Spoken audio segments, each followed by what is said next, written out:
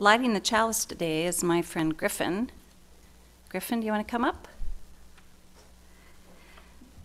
We're going to light the chalice today, the symbol of our Unitarian Universalist faith, with words from John Gibb Millspaugh. Leave aside the little thoughts that distract you from the depths of your soul, for this is a holy place, and now is a holy time. Join with others in this room, this community of seekers, and together let us find our Sabbath. And now, let's say together the words of our mission found on the screen behind me, which affirm our shared purpose. Empowered by love, we transform ourselves and serve our world.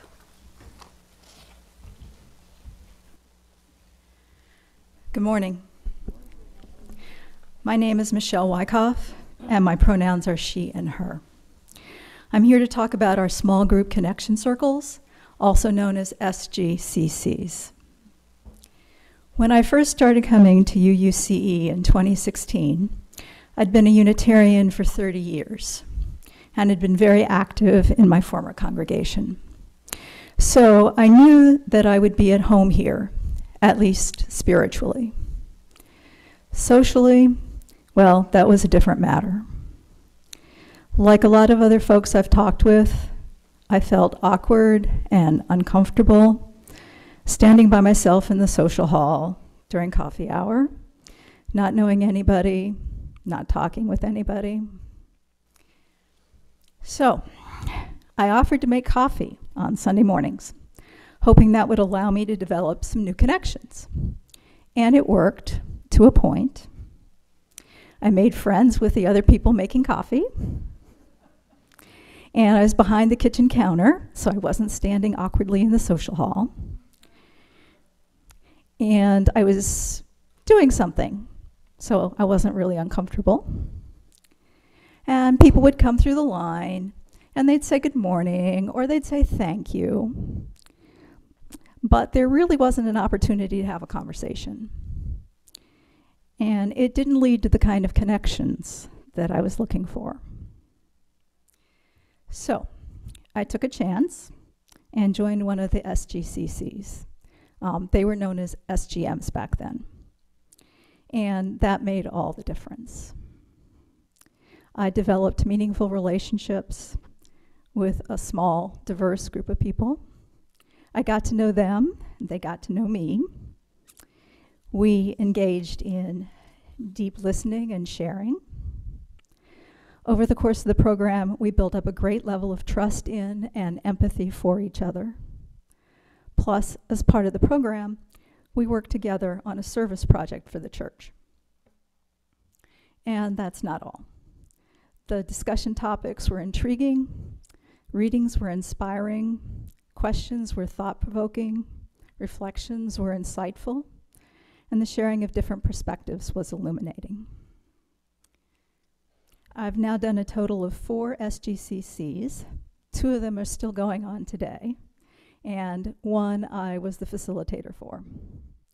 Um, I'm now on the SGCC uh, steering committee, and I've been motivated to become even more involved here at UUCE.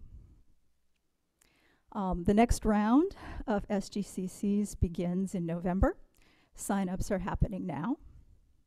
If you're interested in developing deeper relationships, participating in an intellectually stimulating program, serving the congregation, and getting to know yourself a little better, I encourage you to register for this worthwhile series. Dick Lesher and I will be at the back of the social hall after the service. Diana Wise will be available on Zoom to talk with you, answer any questions you might have. And uh, by the way, I'm still making coffee every Sunday. Thank you. Good morning. I'm the Reverend Dennis Reynolds, and uh, it's my great honor to serve this congregation as a community affiliated minister, taking our UU values out into the larger community.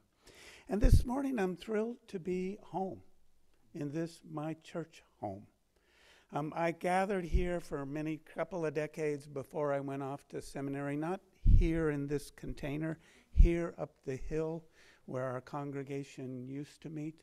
I was ordained in this sanctuary where the call to ministry grew in volume. And it's so very good to be home. I'd like to invite us into worship this morning. Thank you. I'd like to invite us into worship this morning with the words I first heard from the Reverend Carolyn Colbert, who served this congregation for about a decade up there on the hill, was my mentor and was my beloved friend. She often began Sunday mornings with these words We are loving and caring. Yet sometimes we forget. We come together in church to remember.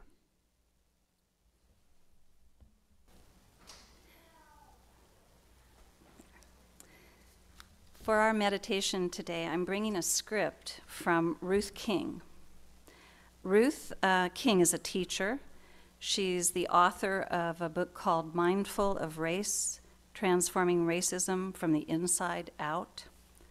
She's the founder of the Mindful of Race Institute, and she's featured in the spring 2022 edition of Yes magazine as one of the most powerful women of the mindfulness movement. So, from Ruth King, I bring you a meditation to remember that we belong to each other.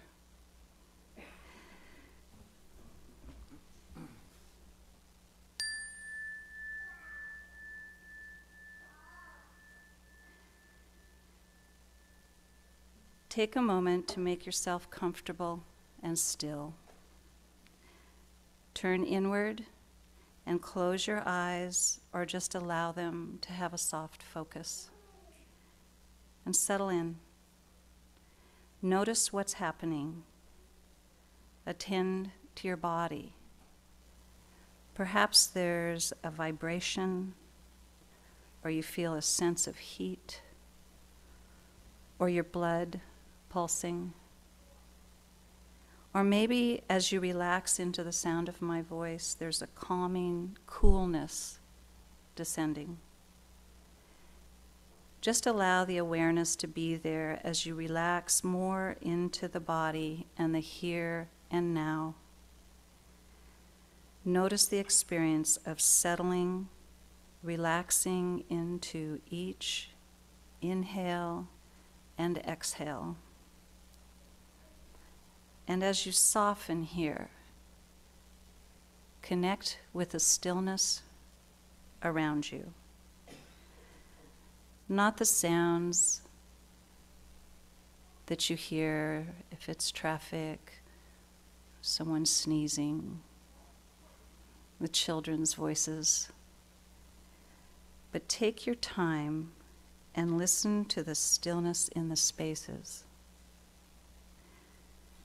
Soften with each breath, in and out slowly, the slow inhalation and exhalation. And as you relax into this quiet space, follow my voice and follow these thoughts. May I see the world with quiet eyes. May I remember that we belong to each other.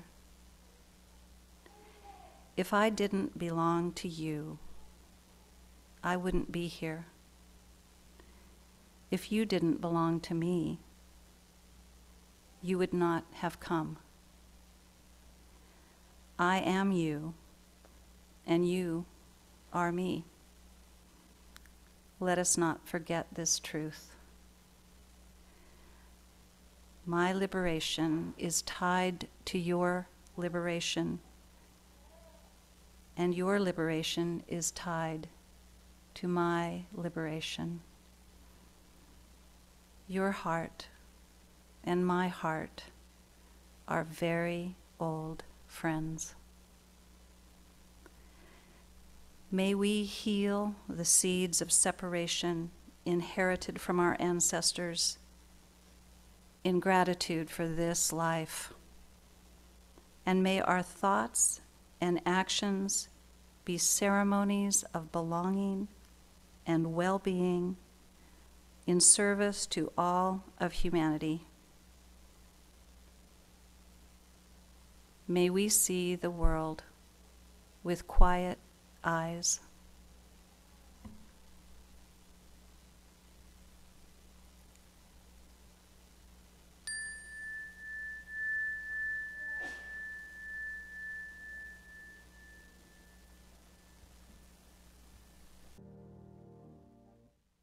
Thank you, Suzanne. The promptings of the Spirit that bloweth where it listeth. Those final words from our reading are drawn from the King James Bible, John 3 8. The wind bloweth where it listeth, and thou hearest the sound thereof, but canst not tell whence it cometh and whither it goeth. In modern language, the spirit wind goes where it desires, it blows, it breathes, and we know not where it come from or where it goes. We know not. As one of our contemporary hymns expresses it, mystery, mystery. Life is a riddle and a mystery. We in a free church commit ourselves individually and together in community to explore that great mystery.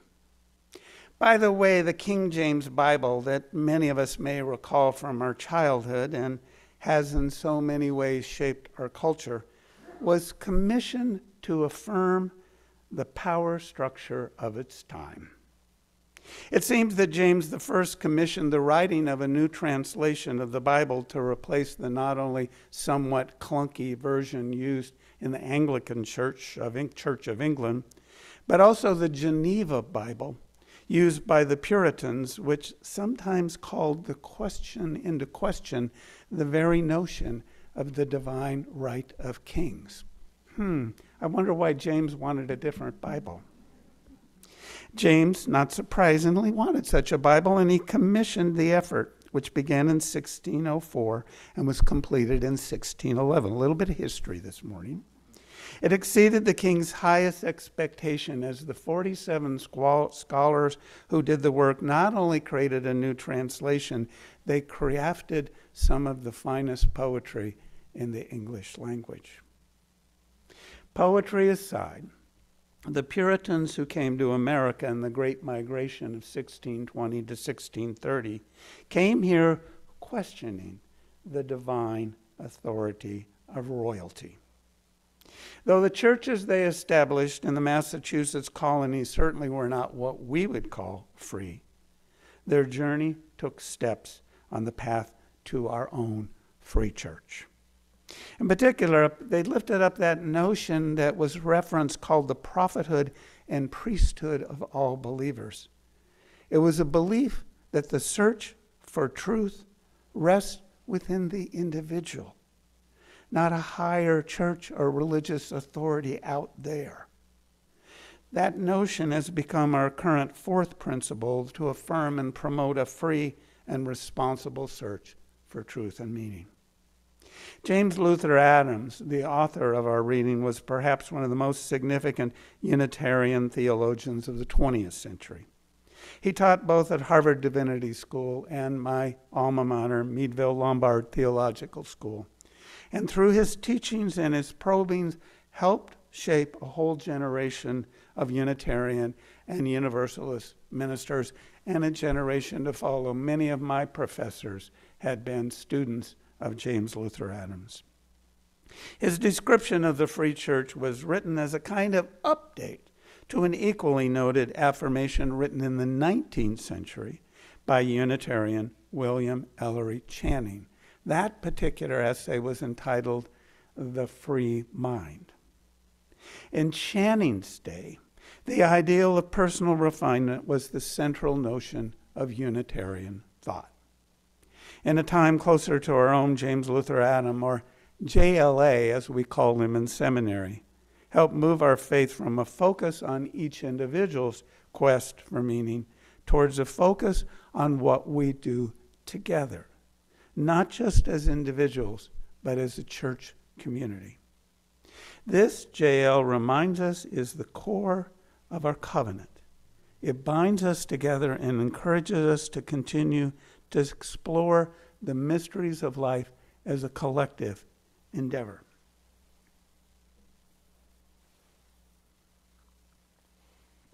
Such a search, what JLA calls an adventure of the Spirit, is an adventure that none of us need embark on alone. In this free church, like other Unitarian Universalist churches across the land, we like gather in circles of kinship, a circle of trust.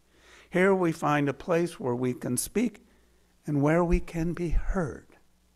Here the chorus of our separate lives resounds as one.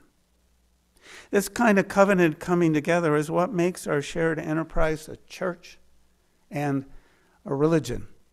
Now, there are lots of people who would self describe themselves as spiritual, but not religious.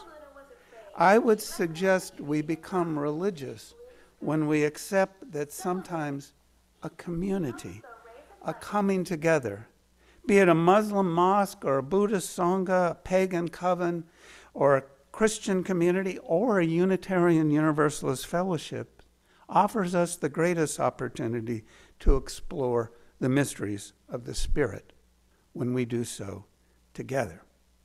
Seeking and searching can often be done best collectively. Now, I was privileged this year in June to attend the General Assembly of the Unitarian Universalist Association in Portland in person.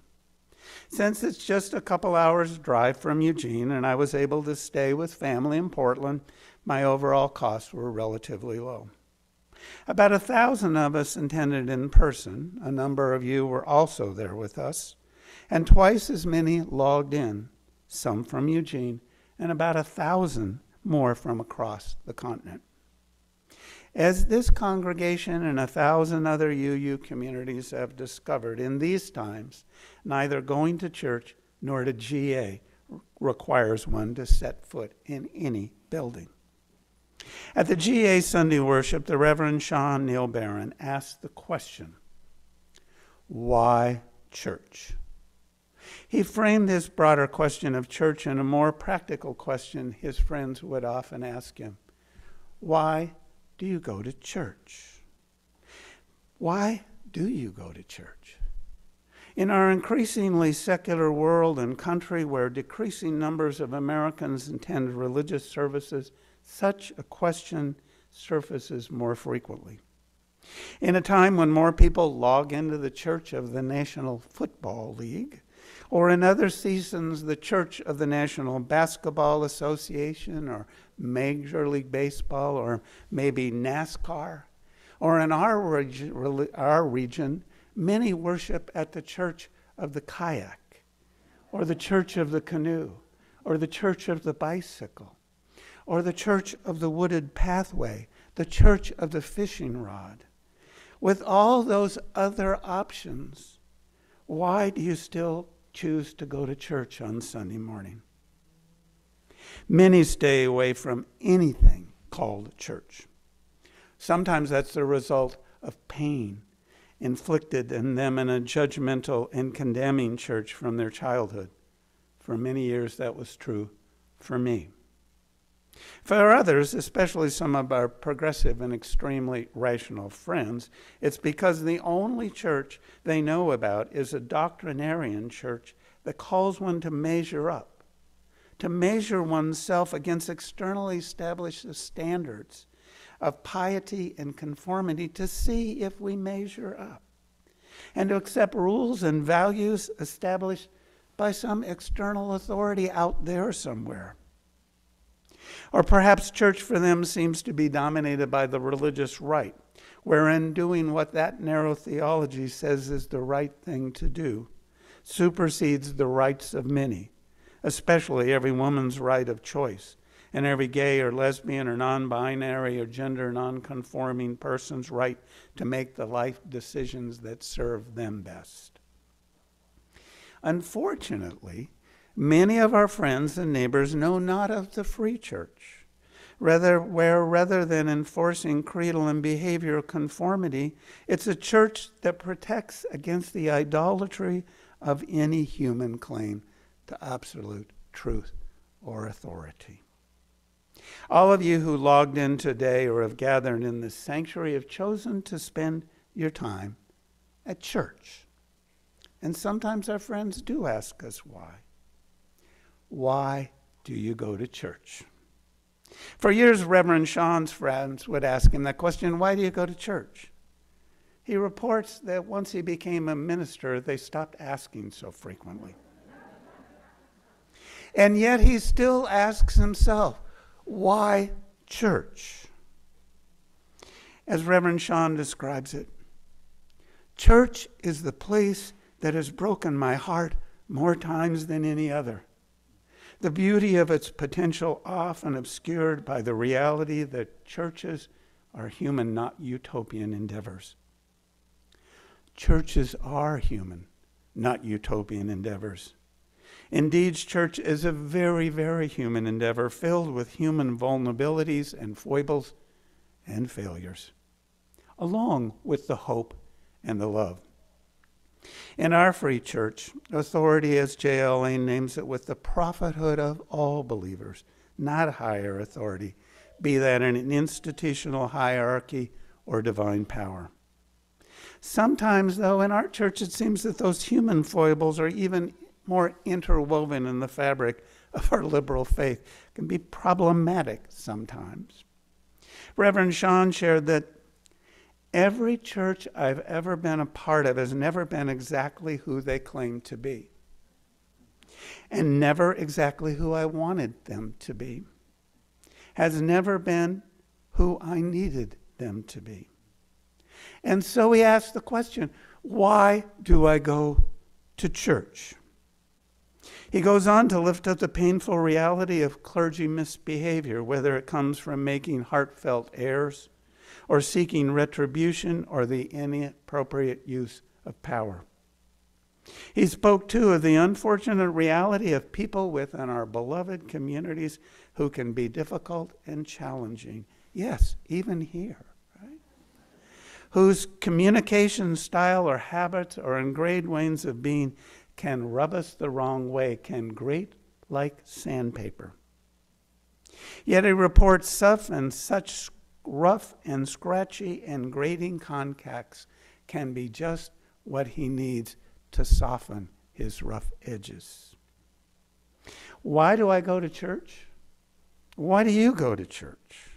Why do we gather together week after week and sometimes over a period of years or decades in person or online in this thing we call church? The longer you stay in church, Reverend Sean reports, the more grief you accumulate. Grief for what was at some point in the past was your church. Grief for members and ministers and friends who have gone away, some choosing no longer to attend this church, some choosing to not go to church at all. There is, too, the grief for those who have died. While he notes that witnessing the joy of new faces can offset these losses, from time to time we look around, either here in this sanctuary, on the participants' view via Zoom, and we realize that the church one joined two years ago, or five years ago, or 10 or 20 or more years ago is not the church you are part of today. The change to multi platform or Zoom or YouTube church for some was an unacceptable change. And even when we come together in person, wearing masks and choosing to offer and receive fewer hugs is just not the same as it was back in what we may consider the good old days. In other days. What we experience in church, whether we call it community or church, fellowship or congregation, is not and never will be the same as it was. And that's both a challenge and a joy. The church you are attending in person and logging into today is different in numerous ways from the church you first joined. So many changes membership and music, ministry, and the messages shared here change. Sometimes changes are intentional and forward looking, like this congregation's decision to purchase and renovate what has become this amazing building. All of you who are here in those times know that it was a difficult decision and a difficult journey from then to now. In the midst of all this change, the question of why we go to church continues to take on new meanings and results in a multitude of answers. In our free church, our non creedal church, where revelation is ongoing and we and our views are continually changing and growing, the answer to why church is also, with time, transformed, both within this institution and in the hearts and minds of each of us who choose to join as passengers and participants on the journey of this pilgrim church, traveling on what J.L. called an adventure of the Spirit. Reverend Sean suggests that there are a multitude of answers to that question of why church, and that they are like stars forming constellations guiding us in every season of life. Constellations guiding us in every season of life. Guiding us perhaps towards our own true north, pointing us towards a pathway that can lead us to our being the person we truly long to be. And collectively, perhaps helping to point us towards determining how we can help each other on this adventure of the Spirit. Why church? Because church. Because church is the place, the community, the gathering where we willingly bring our longings, our successes, and our vulnerabilities. It's where we come, be it in person or virtually, to be fed and to feed the souls of each other. Here we bring our joys and our sorrows. Here we admit our failings and discover new talents and capabilities, most especially our capacity for change and even transformation. In a church community, we take comfort in knowing that as we face the obstacles that come with daily living, as we ponder and question the mysteries of this life, we do not do it alone. Why church? Because church. Because when we open our minds and our hearts to the potential of this place, this gathering, this institution, it offers the opportunity for love to become real to be practiced, to be given, and to be received. Church is a kind of laboratory of the Spirit where experimentation in the art and craft of loving is the work we do here. In church, we find a special kind of belonging that says you are part of an unfolding story, the end of which has yet to be written. We're each of us individually and all of us together on a quest, a pilgrimage, seeking to find love and meaning and deep peace. Sometimes we find we've been part of a miraculous transformation. A group of individuals becomes a community. And we too are transformed and find that we have learned to be more open hearted and loving. And you need not travel towards a trans, such a transformation alone, for you have a people. We have shared rituals and traditions, shared history, shared ancestors, shared successes, and shared longings yet to be filled. Here in this free church, individuals come together become a trusting and caring fellowship.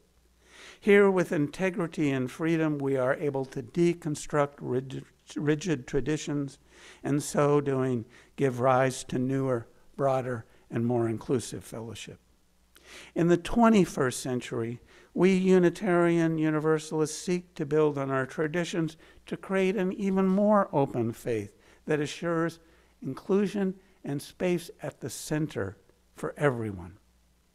In our times, in both in person and virtual gatherings, we affirm the church that never was truly was just a place, but the church was always been about its people.